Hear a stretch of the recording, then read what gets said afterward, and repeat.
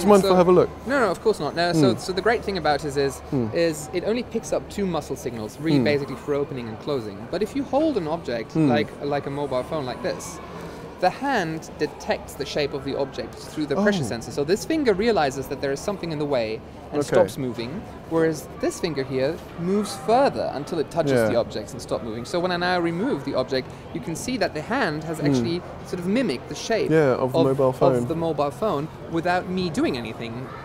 So, Hmm. So it works. It works connection to muscles rather than to nerve impulses, does it? exactly. So Yeah. Hmm. it picks up muscle signals from the surface of the skin, but of course the muscles respond to the nerve signals that come Yeah. from my brain. Yeah. And you don't make this intermediate conscious step anymore after using the prosthesis for a long time. So Hmm. You don't think I have a flex. I have to flex a muscle there to move something there. You just do it. Does it feel the same as using an ordinary hand when you?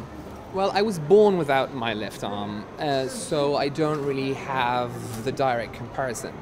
However, what I can say is that this prosthesis, due to the functionality that it offers, has really become a part of my body image. So I, I feel like it's a part of me, and I actually feel that something is missing when, When I'm not, not wearing, wearing it. it. Yeah. So to that regard, uh, I think advanced bionic and medical technology can actually become Yeah. a part of you, if you wish. Do you want to run me through what you think the ethical concerns and Yeah. questions are? This prosthetic hand, Yeah. although it was developed by a spin off from the NHS, is usually not funded by the Hmm. NHS. Now, there are people who need this technology and who have a very strong motivation to get it. Hmm. Now, what's happening is they're trying to raise the money by themselves. So we kind of see a market developing around this Hmm. Technology with branding and even Yeah. advertising. Yeah. Um, and you know that gives money even more Yeah. of an of, a, of, a, of, of influence than Yeah. it already has in terms of you know a fair and equal society. Sort of the have limbs and the have nots sort of thing. Yeah. Yeah. Exactly. For example, servicemen who Hmm. return from combat with you know limbs lost, they receive the latest from the government. Yeah. However, if you are in a car accident and lose a limb there, you don't receive the latest. Hmm. Yeah. Is that is that is that fair? I don't Mm, know. yeah, I'm just saying yeah, this is a exactly. fa- this is a fair question to ask. No. So what are the criteria? Now, thinking this further, Hmm. what if in a not so distant future Hmm. we will see technology that provides more functionality Hmm. than the healthy human body? What if in 50 years there is a prosthetic hand that can do more Hmm. than Yeah. Stronger, sound- more accurate. exactly that sort of stronger. Hmm. more accurate, faster, whatever? Currently, the decision for replacing a failing limb with an artificial one is that the Hmm. artificial one will provide more functionality than the one that's failing or damaged. If that is the sole criterion, Hmm. it would also be a valid criterion if the technology offers more Yeah. functionality than the healthy limb. Should Hmm. we then cut off our healthy hands and replace them? Uh, Yeah. Does that give an unfair advantage to those who can afford it? What kind of businesses will we see around that? I'm not saying Hmm.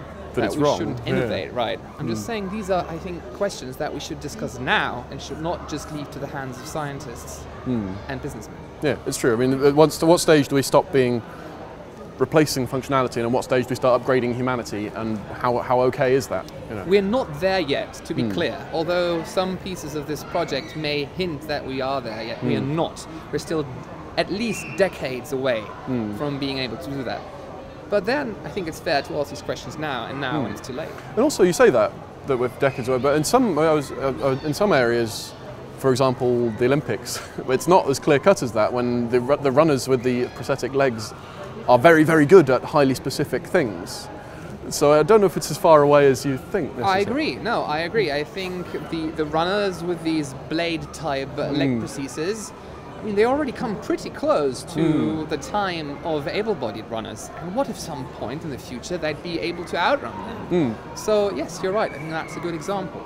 If there was a super hand, you know, that would make me able to, I don't know, climb walls, crush things, Yeah. of course I want it. It's a. It sounds like a really cool gadget. Hmm. Um, should I cut off a healthy arm for getting it? Hmm, I, probably, probably not. not, What are the hmm. ethical implications? Like, Should what about people getting this and then getting better at a job?